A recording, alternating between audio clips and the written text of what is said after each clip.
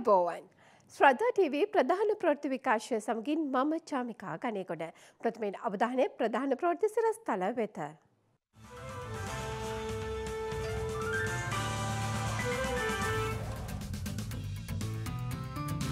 බිංගිරිය අපනයන සැකසුම් කලාපයේ දෙවන සහ දෙවන අධීරයේ සංවර්ධන කටයුතු ජනපති ප්‍රධානත්වයෙන් ඇරඹේ. විදුලි බල ශේෂත්‍රයට ආසියානු සංවර්ධන බැංකුවෙන් අමරිකානු ඩොල මිලියන සීයක්. ප්‍රේකු වර්ජනය හේතුවෙන් එකතු වූ බහලුම් පන්දාහක් මුදාහැරීමේ කටයුතු සති අන්තයේදීත්. යම් ප්‍රමාණයක් කට්‍රේන සිර වෙලා තියෙනවා. දැන් මේ සඳහා වැඩ පිළිවෙලක් ඇදුවා. දැන් මේ සෙනසුරාදා ඉඳලා දෙකම සාමාන්‍ය දවස් විදිහට වැඩ කරලා තවත් විශේෂ වැඩ පිළිවෙලක් දාලා ඔහු සූදානම්ෙන් ඉන්නවා මේ තදබල අඩු කරන්න. සමස්ත ගාසා නගරේම වැසියන්ට ඉවත්වීමට ඊශ්‍රාලය ලබාදී ඇති කාලය දීර්ඝ කෙරේ.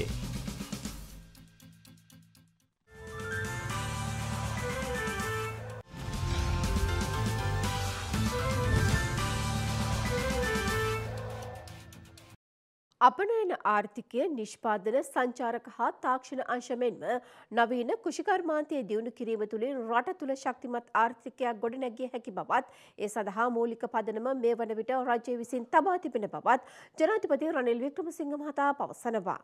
ජනාධිපතිවරයා මේ බව සඳහන් කළේ බිංගිරිය අපනයන සැලසුම් කලාපේ පැවති උත්සවයකට එක්වෙමින්.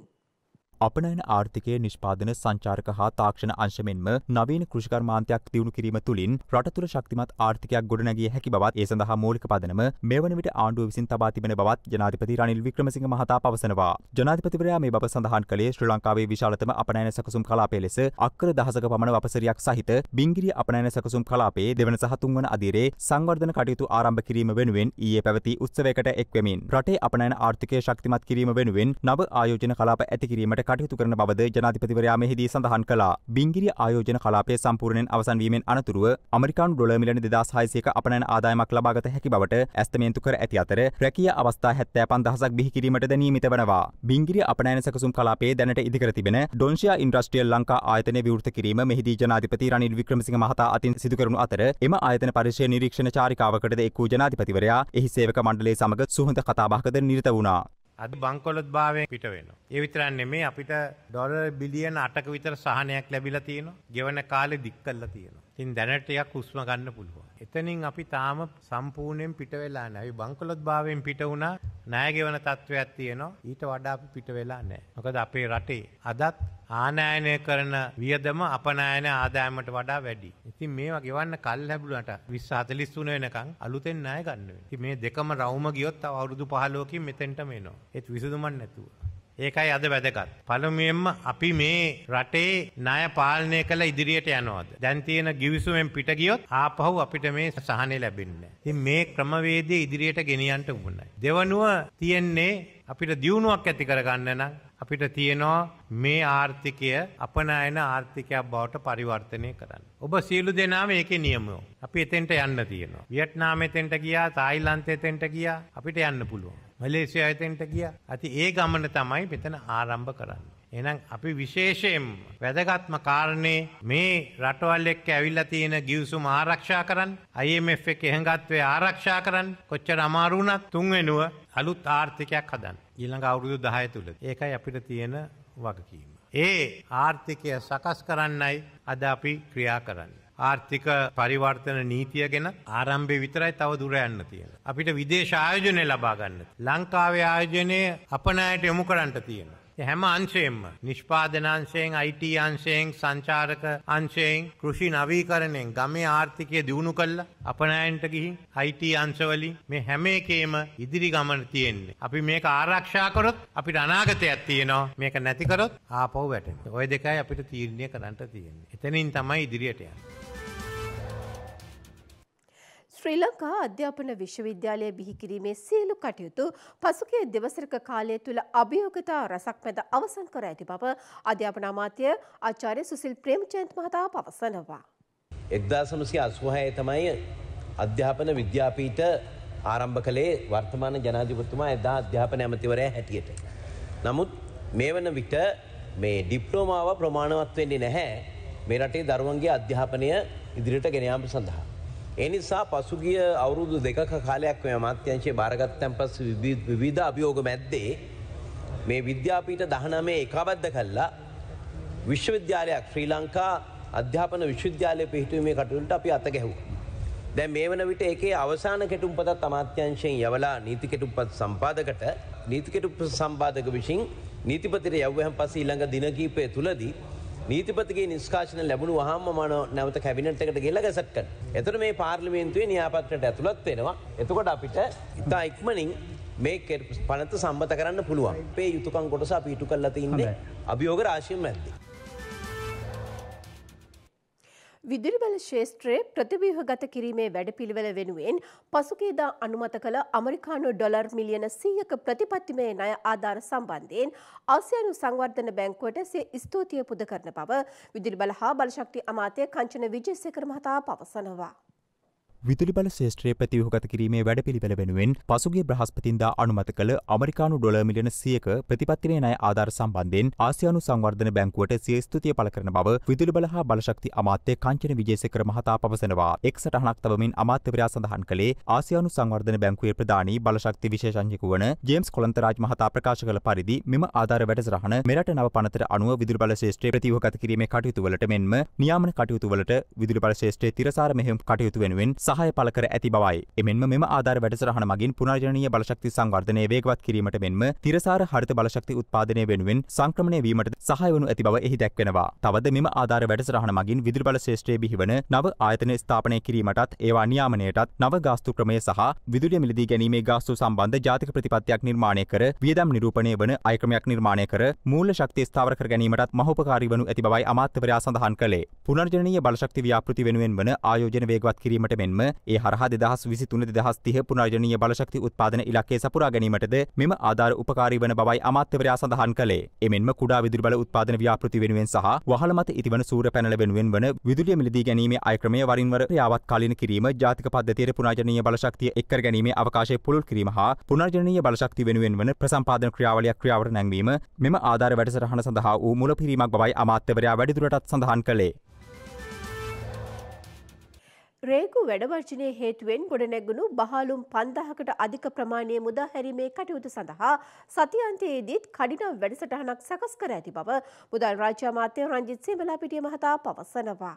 දෙදස් විශ්ව විතර ඉඳලා අපිට තිබුණේ දැන් වැටුප් පතේ හුඟක් දේවල් එන්නේ. වැටුප් ගෙවීම ගැන හැම පාර්ශ්වයකටම. ඒක සේවා ශේෂ්ත්‍රයන් වලට ප්‍රශ්නයක් තියෙනවා. හැබැයි අපිට තිබුණේ 2022 වෙනකොට කොහොමද මේ මූලික වැටුප මේ මුළු සමස්ත රාජ්‍ය සේවයට ගෙවන්නේ කියලා. අපි භාණ්ඩාගාරයට යනකොට තිබුණ ප්‍රශ්නේ ඒකයි. යෝජනා තිබුණා කපාහාරේ. සමහර රටවල එහෙම අර්බුදයකට ආවම පඩි අඩු කරා. ආයෝජනාවක් ආව මේක දෙසරකට ගෙවන්න. අපි මාස දෙකක් දෙසරකට ගෙවුවා. ඉතල සාමාන්‍ය සේවක සහෝදරයින්ට ඊට පස්සේ විදායක ශ්‍රේණි සහෝදරයි. එහෙම ගෙවලා තමයි පහුගිය වතාවේ මේ අයවැලේ කෙනෙන් 10000ක් වැඩි කරේ. හැබැයි ඒ කාල සීමාව තුළ අපිට එක එක ශේෂ්ත්‍රවල තියෙන ගැටලු ගැන අවධානය යොමු කරන්න බෑනේ. ඉතල සමස්ත දේට උත්තර හොයලා ඉන්න එපා. ඒ නිසා හැම ශේත්‍රයකම යම් යම් ප්‍රශ්න තියෙනවා. ඒවට උත්තර හොයන එක අපේ වගකීම. පසුගිය 4 වෙනිදා ලොකු වැඩවර්ජනයක් 4යි 5යි ක්‍රියාත්මක කරන්න සූදානම් වුණා. දේශීය ආදායම් දෙපාර්තමේන්තුව, සුරාබදු දෙපාර්තමේන්තුව, රේගු දෙපාර්තමේන්තුව. මේගොල්ලෝ වැඩවර්ජනය කරා නම් මේ අනිත් වැඩවර්ජන වගේ නෙවෙයි. මේ ආයතන තුන තමයි මේ රටේ ආදායමෙන් 95ක් අපිට හොයලා දෙන්නේ. මේ ආයතන තුන දවසක් නැති වුණොත් අඩුම ගානේ මේ රටේ රජයට රජය කියන්නේ ජනතාව කොච්චර පාඩු වෙනවද? අඩුම ගානේ බිලියන් 10ක් පාඩු වෙනවා. 100ක් කෝටියව 10ක් වැඩිම බැලුවොත් සමහර දවස්වලට අය වෙන ආදායම් ප්‍රමාණය බිලියන 50 60 යනවා. ඒ නිසා ඔවුන් සමග සාකච්ඡා කරා. ඒක සාකච්ඡාවට ඔවුන්ගේ තියෙන ප්‍රශ්න අපි අවබෝධ කරගන්නවා. අපිට තියෙන ප්‍රශ්න ඔවුන් අවබෝධ කරගන්නවා. ඒක සාකච්ඡා වටේකින්ම පුළුවන් වුණා දේශීය ආදායම් දෙපාර්තමේන්තුව සහ සුරාබද් දෙපාර්තමේන්තුවේ වැඩ වාජනයේ එළඹීම නවත්තන්න. හැබැයි රේගු දෙපාර්තමේන්තුව ඔවුන්ගේ තවත් නොවිසඳුණු ප්‍රශ්නයක් ගැන කියලා වරුවක් වැඩ වාජනය කළා. ඒ වරුව තුල කොච්චරක් මේ රටට එන මෙරටින් යන බහලු කන්ටේනර්ස් 5000ක් කිරුණා විතරට. ඒ තදබදේ රේගු ඇති වෙච්ච තදබදේ නිසා තාමත් යම් ප්‍රමාණයක් කන්ටේනර්ස් ඉර වෙලා තියෙනවා. දැන් මේ සඳහා වැඩ පිළිවෙලක් ඇදුවා. දැන් මේ සෙනසුරාදා දෙකම සාමාන්‍ය දවස් විදිහට වැඩ කරලා තවත් විශේෂ වැඩ පිළිවෙලක් දාලා ඔවුන් සූදානම්ෙන් ඉන්නවා මේ තදබදේ අඩු කරන්න. අපි ඔක්කොට වගකීමක් තියෙනවා. වෘත්තීය සමිතියක් කියන්නේ කුමක්ද? සමාන සේවකයේ දෙන සමාන වගකීම් තියෙන සමාන අයිතිවාසිකම් රැකගත යුතු කණ්ඩායමක් මේ අයිතිවාසිකම් ආරක්ෂා කර ගැනීම සඳහා ඇති කර ගන්නා වූ සාමූහික සංවිධානයක්. ඒ නිසා උන්ට ලොකු වගකීමක් තියෙනවා පළවෙනි වගකීම තමන්ගේ මේ සාමූහිකත්වය. හැබැයි තංග දෙකකුත් තියෙනවා. ඒ තමන්ගේ ආයතනය ආරක්ෂා කර ගැනීම. තුන්වෙනි එක තමයි ජාතික අවශ්‍යතාවය. අපේ මූලික වියදම් වලට වඩා හැම වෙලාවෙම අපි ආදායම තියාගන්න ඕනේ. දැන් මේ අවුරුදු වල හැම විටකම මූලික ආදායම වියදමට වඩා වැඩි. අන්න ඒ නිසා මේ හැම සංවිධානයකට වගකීමක් තියෙනවා. තමන් රැකෙන්න ඕනේ. තමන්ගේ ආයතන රැකෙන්න ඕනේ. රටත් රැකෙන්න ඕනේ. හම්බන්තොට දිස්ත්‍රික්කය තුළ ආරම්භ කළ කීරිසම්බා බිත්තර වී වගා ව්‍යාපෘතිය සාර්ථක වී තිබෙනවා. වී අලවි මණ්ඩලය විසින් හම්බන්තොට දිස්ත්‍රික්කය තුළ ආරම්භ කළ කීරි සම්බා වී වගා ව්‍යාපෘතිය සාර්ථක වී තිබෙනවා. රට තුළ පැවති කීරි සම්බා සහල් හිඟේ සැලකිල්ලට ගනිමින් හම්බන්තොට දිස්ත්‍රික්කය තුළ බිත්තර වී සඳහා කීරි සම්බා වගා ව්‍යාපෘතියක් ක්‍රියාත්මක කරන ලෙස කෘෂිකර්ම හා වැවිලි කර්මාන්ත අමාත්‍ය මහින්ද අමරවීර මහතා වී අලවි මණ්ඩලයට උපදෙස් ලබා දී ඇති බව සඳහන්. රට තුළ පැවති කීරි සම්බා සහල් හිඟේ සැලකිල්ලට ගනිමින් හම්බන්තොට දිස්ත්‍රික්කය තුළ බිත්තර වී සඳහා කීරි සම්බා වගා ව්‍යාපෘතියක් ක්‍රියාත්මක කරන ලෙස කෘෂිකර්ම හා වැවිලි කර්මාන්ත අමාත්‍ය මහින්ද අමරවීර මහතා වී අලවි මණ්ඩලයට උපදෙස් ලබා දී තිබෙනවා. ඒ අනුව වී අලවි මණ්ඩලය විසින් ගොවි භාරකාර අරමුදලේ මූල්‍ය ප්‍රතිපාදන මත හම්බන්තොට දිස්ත්‍රික්කයේ අක්කර 500ක බිත්තර වී සඳහා කීරි සම්බා වගා ව්‍යාපෘතියක් මෙවර යාලකන්නේදී ආරම්භ කර තිබෙනවා. මෙහිදී ගොවීන් 310කට කීරි සම්බා වගාව සඳහා අවශ්‍ය බිත්තර වී සහ අනිකුත් යෙදවුම් සැපයීම වී අලවි මණ්ඩලය විසින් සපයා ඇති බව සඳහන්. මෙහිදී ගොවීන් 310කට කීරි සම්බා වගාව සඳහා අවශ්‍ය බිත්තර වී සහ අනිකුත් යෙදවුම් වී අලවි මණ්ඩලය විසින් සපයා තිබෙනවා. මීට පෙර හම්බන්තොට දිස්ත්‍රික්කය තුළ කීරි සම්බා වගාව ජනප්‍රිය නොවුණු අතර මේ වන විට ගොවීන් විශාල පිරිසක් කීරි සම්බා වගාවට යොමු වී සිටින බවයි වාර්තා වන්නේ. මෙම ව්‍යාපෘතිය කෘෂිකර්ම හා වැවිලි කර්මාන්ත අමාත්‍ය මහින්ද අමරවීර මහතා විසින් නිරීක්ෂණය කර ඇති අතර වගාවේ අස්වනු නෙලීම ඉදිරි සතියේ සිදු කිරීමට නියමිතයි. මෙහි සමස්ත අස්වන්න වී අලවි මණ්ඩලය විසින් මිලදී ගැනීමට සැලසුම් කර ඇති බවයි වී අලවි මණ්ඩලයේ සභාපති නීතිඥ බුද්ධික ඉද්දමාලගොඩ මහතා සඳහන් කළේ. එළඹෙන මහකන්නේදී හම්බන්තොට දිස්ත්‍රික්කය තුළ අක්කර 2000ක කීරි සම්බා වගා කිරීම සඳහා කටයුතු යොදන ලෙස කෘෂිකර්ම හා වැවිලි කර්මාන්ත අමාත්‍ය මහින්ද අමරවීර මහතා වී අලවි මණ්ඩලයේ සභාපතිවරයාට උපදෙස් ලබා දී තිබෙනවා. වෙනස් වැඩකින් දිනන හැටි. අද දිනන වැඩ තුළින්.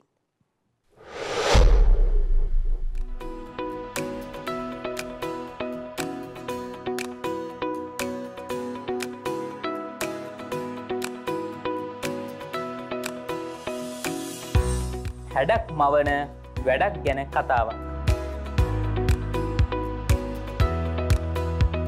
මේ හරි හැඩට මැවෙන දියඇලි.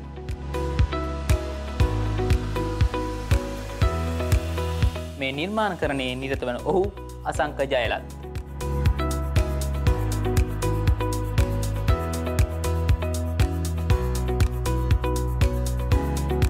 ඔහුගේ නිර්මාණ කරණයේ ආරම්භය ගැන ඔහු කිව්වේ මේ වගේ දෙයක්. මේ කලාව ආරම්භය මේ දෑටකුල්ල ප්‍රදර්ශනයක් නැරබීට ගිය අවස්ථාවකදී ඒ නිවාසංගන අධිකාරයේ හදල තිබ ගල් ගුහාවක් ඒ ගල්ගුහාව දැකට පස මට හිතුන මටත් ඇතට මේ වගේ දෙයක් කරන්න පුළුවන් කියල උත්සාහ කරලා එක නිර්මාණයක් කර. එක සාර්ථකයි. එතනින් ටිකට මේ නිර්මාණ කට්ටියගේ අගේ කිරීම එක මම වැඩි දියුණු කරගෙන කරගෙන යනවා මේ නිර්මාණ දැනට. මේ නිර්මාණවලට යොදාගන්නේ මොනවද. අපි යොදාගන්න අමුද්‍රව ලංකාව සෑම තැනකම තියෙනවා. ගැන කම්බි කොකුල් දැල් සිමෙන්ති සුදු සිමෙන්තම ම ගොඩ පාජයන් සුදු සිමෙන්තියකට වර්ණ කවලං කල්ලා ඒවයින් තමයි ගල හදන්න. ඉතින ගලේ කොටසක් කැඩිල ගියත් ඒ ඇතුළෙන් මතුවෙන්නෙත් ඒ කල එකමයි. එතකොට පේන්ටක් කල්ලා පේන්ට එක ගියා වගේනේ ගල මතුවෙන වර්ණ සදාකාලිකයි. එකන පවතින රාකල් අර විදිර වර්ණ තියනවා. යමුද්‍රව ලංකාවේ සෑම තැනකම තියෙනම ද්‍රවලින් තම අපි නිර්මාණ කරගෙනයන්න ස්භාවික සුන්දරත්වය මේ තුළින් පැවෙනවද.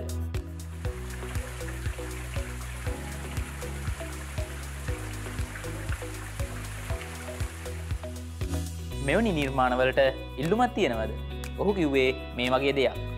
දැනට ඉල්ලුම කියන මේ ලංකාවේ නන්දසින් සෑම කෙනම් කෙන්ම කතා කරන්නවා ගැන මම මුහුණ පොත හරහා මේ දෙවල් ප්‍රදර්ශනය කරනවා මව කරන නිර්මාණ ඒත් එක්ක පෞගිය ගාල් යාපනය එක නිර්මාණයක් කල්ලා ඊට පස්සේ දැන් මේ දවසල ගාල්ලේ මිදිකම ලොකු නිර්මාණයක් කරන්න යනවා. අඩි පනා සටක් දිග අඩි දාසයක් පමණ උස නිර්මාණයක්. දැන්ටමන් කන්න විශාලම නිර්මාණය තමයි ඒවගේ ලංකාවේ සෑම දෙදම නිර්මාණ කල්ලා තියෙනද දිරියෙන් නැගේ සිටින ඔහු ලබාගත්ජයක් හනමනවද ලබාගත් ජයග්‍රහණකන් කලා විචාරද ගෞරනාමයක් ලබක වෙන තියෙනවා සමාජසේවා විභූෂණ කලා විශාරද දේශ ශක්ති දේශ කීර්තියන ගෞරනාමය ලැබුණ ඉට මිට බොහෝ දිනකට කලින් සාමිනිතුරු පත්වීමක් ලැබුණමට මේ කලා විශ්ව හදයරීම ලැබුණු ප්‍රතිඵල ඒවතමයි. ඉදිරියේදී මෙවැනි නිර්මාණ කරන්න ඉන්න කෙනෙකුට ඔහු කිව්වේ මේ වගේ දෙයක්. මේ වගේ කලාවක් කිරීම ඇත්තරම ආසාාව තියෙන කෙනෙක් ඉන්න නම් මංගාවටාවත් මං කිසිම දෙයක් මංගන්න ඇතුව සියලුම දේ ලබා දෙෙන ඔවුන්ට ඉගෙන ගන්න ආස කෙනෙක් ඉන්නවන මහා සම්බන්ධනොත් මම දන්න කලාව සියට සියයක් මං කියල දෙන ඇත්තටම කැමති මොකද කලාව කංගගෙන ජීවත් කලා වැඩක් නෑ තව කෙනෙක්ට බෙදාදුනොත් එහි වටිනා සමත් තියෙන වෙනස් වැඩක හැඩක් මැවෙන වැඩක්.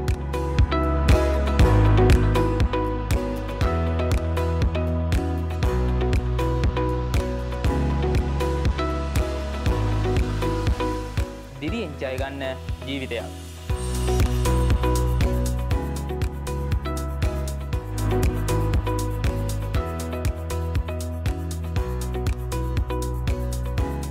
අලුත් විදියට හිතන් වෙනස් වැඩක් කරන්න ඔබටත් පුළුවන්.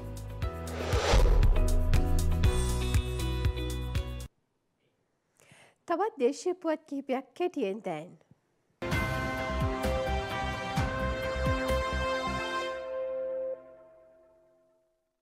ඊලොන් මස්ක් හිමිකාරිත්තය දරනු ලබන ස්පේස් එක් චන්ද්‍රකා ඒකය වන ස්ටාලින් අන්තර්ජාල සේවාවන් හට මෙරට මෙහුම් ආරම්භ කිරීමට අවසර ලබාදීම සඳහා දශක ගණනාවක් පැරණි නීති සංශෝධනය කිරීමට පාලිමේන්තුව පසුගෙදා අනුමැතිය ලබාදී තිබෙනවා. වසර විසියටකට පසු ප්‍රථම වරට පවතින නීතිය සංශෝධනය කරන ලද නව විදුලි සංදේශ පනත් කෙටුම් පත පාලිමේන්තු චන්දයකින් තොරව සම්මත කළ බව පාලිමේන්තු කාර්යාලය නිවේදනයක් නිකුත් කරමින් සඳහන් කළා. මෙම සංශෝධනය මගින් නව බලපත්‍ර වර්ග තුනක් හඳුන්වා දෙන අතර ටෙලිකොම් නියාමක තාක්ෂණයෙන් අනුමැතිය ලැබෙනතෙක් බලපත්‍රලාබී සේවා සපයන්නෙකු ලෙස ටාලින් ටෙලිකොම් ආයතනය හා සම්බන්ධවීමට ඉඩ සලසන බව රාජ්‍ය තාක්ෂණ අමාත්‍ය කනක හේරත් මහතා පවසනවා. මෙම අවස්ථාව ස්ටාලින් සඳහා පමණක් නොව ශ්‍රී ලංකාවේ ආයෝජනය කිරීමට කැමැති වෙනත් ඕනෑම සමාගමකට අවස්ථාව සැලසෙන බවයි අමාත්‍යවරයා සඳහන් කළේ. එමෙන්ම දෙදහස් තිහ වර්ෂය වන විට තොරතුරු තාක්ෂණ ශේෂත්‍රය ඩොල බිලියන පහළවක කර්මාන්තයක් දක්වා වර්ධනය කිරීමට සැලසුම් කර ඇති බවත් එබැවින් විශේෂයෙන්ම ග්‍රාමීය ප්‍රදේශවල අන්තර්ජාලය සැපයීම සඳහා ජාත්‍යන්තර සමාගම් ආකර්ෂණය කර ගැනීම වඩාත් වැදගත් බවත් අමාත්‍යවරයා මෙහිදී සඳහන් කළා. මෙරට මෙහිුම් ආරම්භ කිරීමේ යෝජනාවක් සමග ස්ටාලින් පසුගියදා සම්බන්ධ වූ බවයි අමාත්‍යවරයා වැඩිදුරටත් සඳහන් කළේ.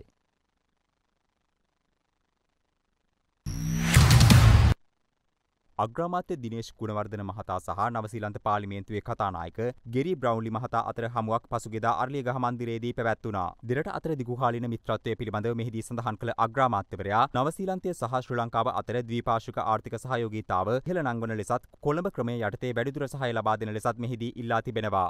එදහස් අටසිය අනුතුන වර්ෂයේදී නවසීලන්තයට සහ එදදා සමසි තිස් එක වර්ෂයේදී ශ්‍රී ලංකාවට සරෝජන චන්දබලය ලබා දෙමින් පාලිමේන්තු ප්‍රජාතන්ත්‍රවාදය සඳහා වූ අරම කැපවීම පිළිබඳ සාඩම්බර වාර්තාවකට දෙරට හිමිකම් කියන බවත් අග්‍රාමාත්‍යවරයා මෙහිදී සිහිපත් කළා. එදහස් නමසය පනස් අට වර්ෂයේදී කොළඹ ක්‍රමය ප්‍රධානයක් යටතේ මහර්ගම ශ්‍රී ලංකා දන්ත වෛද්‍ය විද්‍යාලය පිහිටුවීම පිළිබඳව අග්‍රාමාත්‍යවරයා නවසීලන්තයට ස්තුතිය පළ කළ අතර එය වැඩිදියුණු කිරීම සඳහා මෙහිදී නවසීලන්තයේ සහාය ඉල්ලා තිබෙනවා. නවසීලන්ත කතානායකවරයා ශ්‍රී ලංකාවේ ඉක්මන් ආර්ථික ප්‍රකෘතිමත් වීම පිළිබඳව ප්‍රශංසා කළ අතර තම රටෙහි අකණ්ඩ සහයෝගීතාව හිදී සහතික කර තිබෙනවා. සංචාරක වරාය සහ නාවික කෘෂිකර්මය ඇතුළු ශ්‍රේෂ්ඨ රැසක විශාල විභවයක් ශ්‍රී ලංකාවට ඇති බවද ඔහු මෙහිදී සඳහන් කළා. කිරි නිෂ්පාදන අංශය රාජ්‍ය අංශය ප්‍රතිසංස්කරණ සහ ඉඩම් ප්‍රතිසංස්කරණ සම්බන්ධයෙන් ඇතිවිය හැකි සහයෝගීතාව පිළිබඳවද මෙහිදී සාකච්ඡාවට ලක් කෙරුණා. කොළඹ කොටස් වෙළඳපොළ ඊයේ දිනේදී ඉහළ යාමක් දක්නට ලැබුණා. සියලු කොටස් මිල දර්ශකය ඒකක 41.7 එකකින් ඉහළ ගොස් සටහන් වූයේ ඒකක 11843.9.7ක් ලෙසයි. S&P 20 මිල දර්ශකය ඒකක 19.2කින් ඉහළ ගොස් ඒකක 3454.6.8ක් ලෙස දැක්වුණා. දහම් පාසල් ගුරු සහතික පත්‍ර විභාගයේ ලබන 16 වෙනිදා දිවයින පුරා මධ්‍යස්ථාන 22කදී පැවැත්වීමට සියලු කටයුතු සංවිධානය කර ඇති බව බෞද්ධ කටයුතු පිළිබඳ දෙපාර්තමේන්තුව නිවේදනය කළා. නිවේදනයක් නිකුත් කරමින් ඔවුන් සඳහන් කළේ දිස්ත්‍රික් ලේකම්වරුන්ගේ පූර්ණ අධීක්ෂණය යටතේ මෙය පැවැත්වෙන බවයි. අදාළ විභාගයට අයදුම්පත් ඔන්ලයින් ක්‍රමවේදය හරහා මේ දිනවල සිදුවන බවත් අයදුම්පත් බාර ගැනීම හෙටින් අවසන් වන බවත් එම දෙපාර්තමේන්තුව සඳහන් කළා. දිවයින පුරා පිහිටි දහම් පාසල් 10300ක ගුරුවරු 126000ක් පමණ සිටිනවා.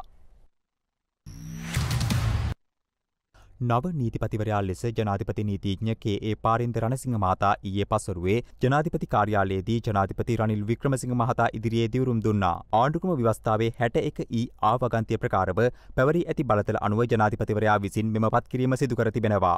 ජනාධිපති නීතිඥ කේ.ඒ. පාරින්ද රණසිංහ මහතා මෙරට 49 වන නීතිපතිවරයායි. ජනාධිපති ලේකම් සමන් ඒකනායක මහතාද දිවුරුම් දීමේ අවස්ථාවට එක්ව සිටියා.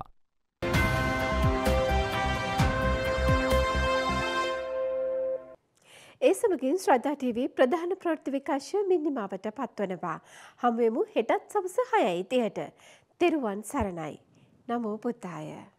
නවතම පුවත් දැනැනීමට ශ්‍රතා TV නිවස් YouTube චනලය සබස්ක්‍රයිබ් කරන්න.